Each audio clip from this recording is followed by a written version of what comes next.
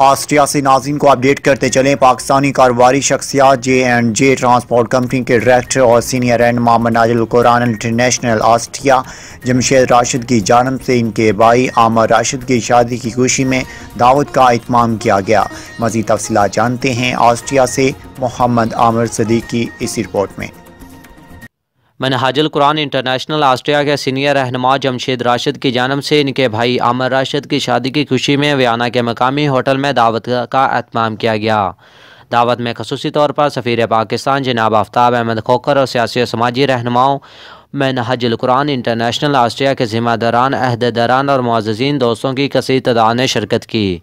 सफ़ीर पाकिस्तान जनाब आफ्ताब अहमद खोकर और पाकिस्तानी कम्यूनिटी की जानब से जमशेद राशद के भाई अमर राशद दुल्हा और दुल्हन के लिए नए ख्वाहिशात का इशार और मुबारकबाद पेश की गई।